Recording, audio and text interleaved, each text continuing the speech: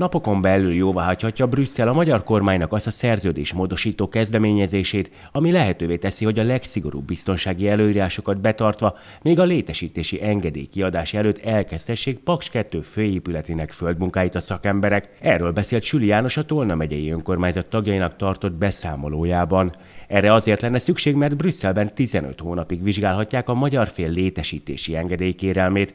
A módosítással viszont akár már ez idő alatt is el lehetne kezdeni a reaktorépületnek szükséges gödör kiásását, ami során 8 millió köbméter földet kell megmozgatni és vízzáró résfalat építeni.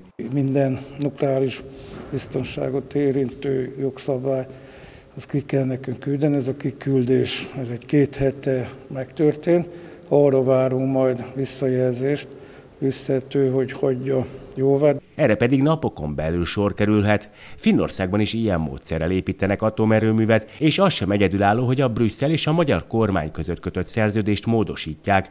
Korábban erre már három alkalommal is sor került az előkészítő munka során. Például így kezdhették el a szakemberek már építeni a kiszolgáló épületek egy részét. Egyetlen egy biztonsági kérdésbe nem kellett semmilyen engedményt, módosítást tennünk, hogy a finn módszer példát követtük. Fehérvári Tamás a Tolna megyei közgyűlés elnöke arról beszélt, hogy Paks 2 soha nem látott fejlődés hozhat Tolna megye számára. Az atomerőmű építéséhez ugyanis az infrastruktúra fejlesztésére is szükség van, így mások mellett utak épülnek és újulnak majd meg, és munkahelyek jönnek létre. Éppen ezért készül gőzerővel a megyei önkormányzat és a beruházás megkezdésére. Ez egy húzó területe lehet Tolna megyének, és mi is megteszünk mindent annak érdekében, hogy az atomerőmű fejlesztését támogassuk.